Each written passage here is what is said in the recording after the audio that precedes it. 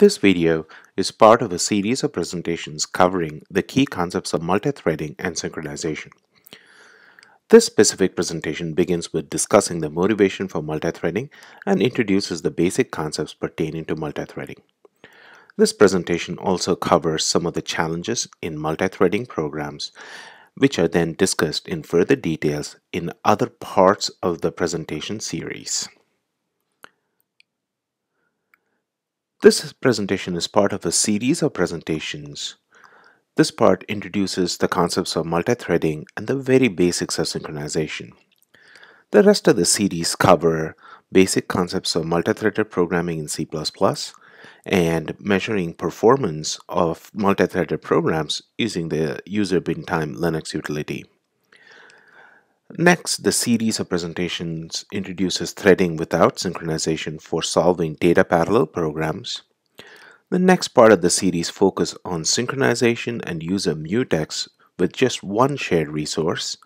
And then the series introduces synchronization with multiple resources and also covers the use of the producer-consumer model for multi-threaded programming.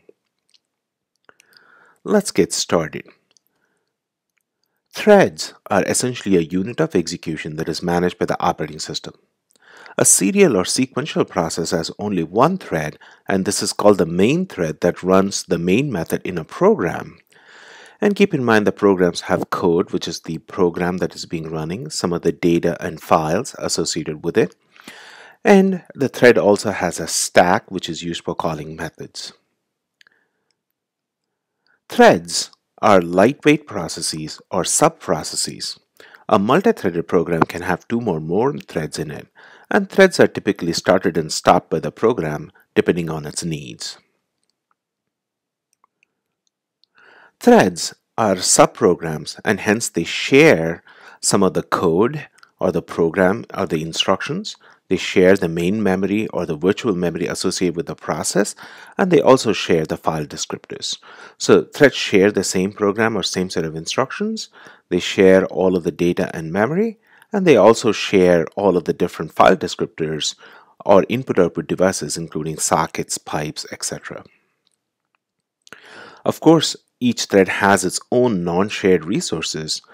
For example, the stack is not shared. That means each thread gets its own stack. This allows threads to call different methods to perform different operations as they need it. Now let's look at why threads were being introduced. Initially, when microprocessors were designed, there were increasing the speed of the microprocessors, which then introduced challenges in heat and how to fabricate these really fast uh, CPUs without causing thermal failure. So most modern processors now have many cores and even smartphones and a lot of the embedded devices have multiple cores in them. And these cores run a little bit slower, but they all run in parallel thereby enabling the CPU to process more instructions in a given unit of time. For example, the modern desktop and server processors have more than 28 cores in them. So in other words, we can utilize 28 small CPUs simultaneously in order to solve complex problems. Many of the modern servers can have multiple CPUs, each CPU with multiple cores, where core is like a smaller CPU inside the larger CPU. In order to utilize these modern contemporary computers with multiple cores and multiple CPUs on a single machine, programs now need to be multi-threaded in order to take full advantage of these modern hardware architectures. Keep in mind, modern CPUs have many cores, where core is like a sub-CPU that can independently process instructions. So typically, instructions in a program are processed using a single thread. This is the main thread that runs, and these programs are called sequential programs, in which a thread starts running on a CPU core and starts processing instructions or tasks that are associated in a program in a serial manner. That means it executes one instruction at a time just like we normally step through or visualize a program. So in this situation, given six instructions or six tasks, each task taking some amount of time, the total time for running this program will be 6n. Now consider in the, the same program but with multi-threading. Here, those instructions are subdivided or logically organized into independent subsets and multiple threads are used to simultaneously process these instructions. So given t threads and some number of tasks, we can reduce the overall time for running these instructions or tasks proportional to the number of threads that we are using. This is the advantage of multi-threading. However, it is important to keep in mind that with multi-threading, we are not changing the asymptotic time complexity or big O of an algorithm. Instead, we are reducing the runtime constants in a program. So for example, if an algorithm takes 5 times O of n squared to run using a single thread, by using two threads, we are decreasing the runtime by 5 over 2. So we're decreasing the runtime constants, but not the time complexity of algorithms. There are several categories of applications that can take advantage of multi-threading. There are some applications or programs that are CPU bound. That means they spend most of the time in processing instructions using the ALU. Here, the program is essentially can be subdivided into independent threads, and these threads can simultaneously operate on multiple cores on a CPU and start generating outputs. This type of CPU-bound programs are widely used for scientific simulations for simulation and analysis of complex systems. They are often used in AI and machine learning where a large part of the time is spent processing instructions on a CPU or they can be used for accelerating different kinds of programs and algorithms.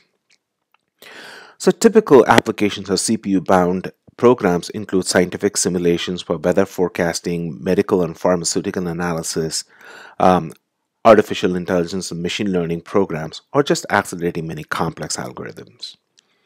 Another category of programs are called I/O or input-output bound programs where they most of the time or a substantial portion of the time is spent on processing data from different devices. Here, multiple threads can be operating independently on different hardware devices and interacting with them. And since we have multiple devices, they can asynchronously operate and these input-output threads predominantly are context switch and even with a single core with these multiple modern hardware devices multi-threaded programs can provide uh, advantages and accelerate the overall operations of a program.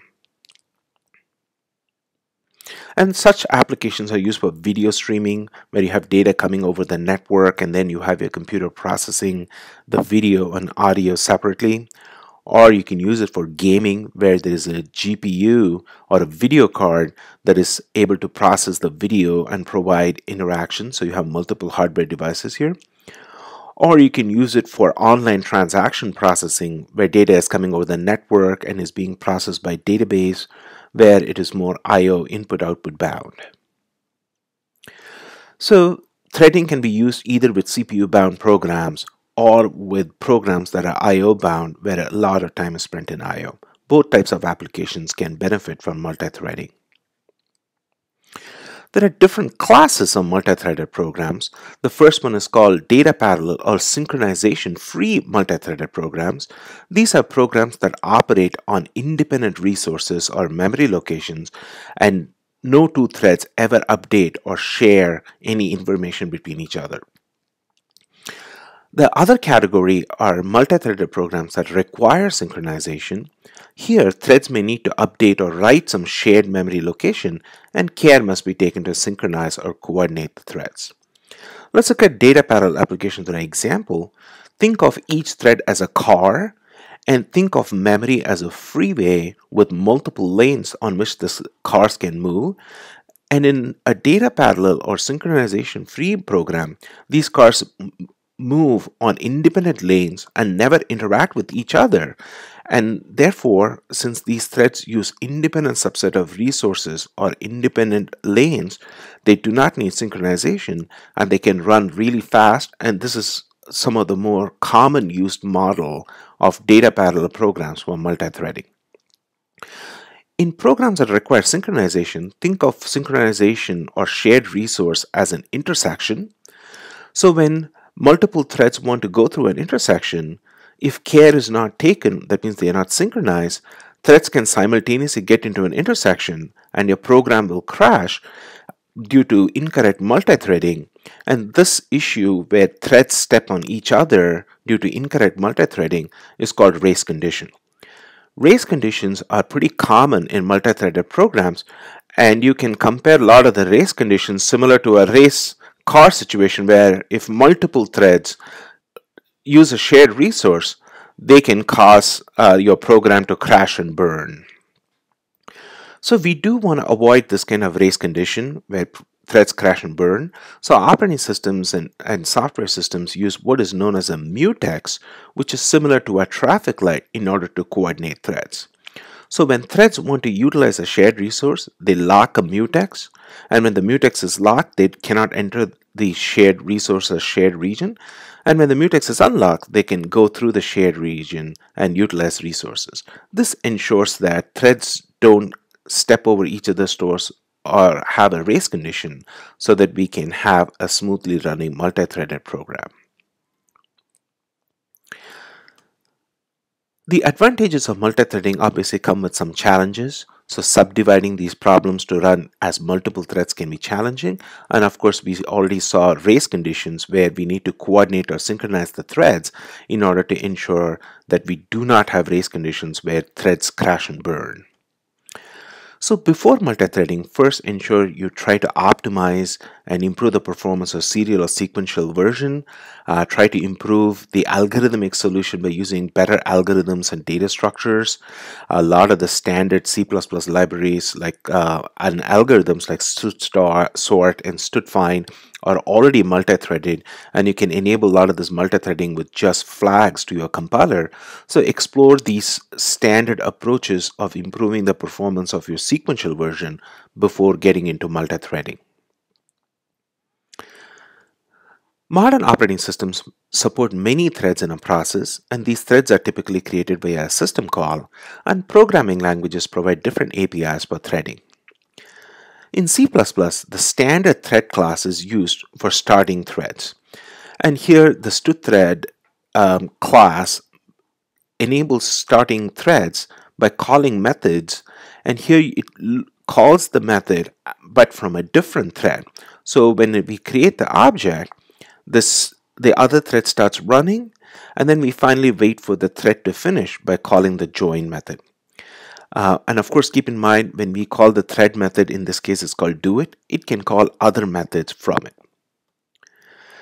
Many threads, of course, can be created. So you can use a for loop to create a bunch of threads and add them to a vector. And then uh, you wait for the threads to finish. So this series of presentations, we first covered the basic introduction to threading and synchronization. Subsequent presentations will go into the details of multi-threading in C++ and measuring the performance of multi-threaded programs. Then we'll look at the threading without synchronization and other parts of the series will focus on synchronization with one resource, multiple resources, and then also look at the producer-consumer model for multi-threading. Hope you found this presentation useful and interesting. Make sure you check out the other presentations in this series.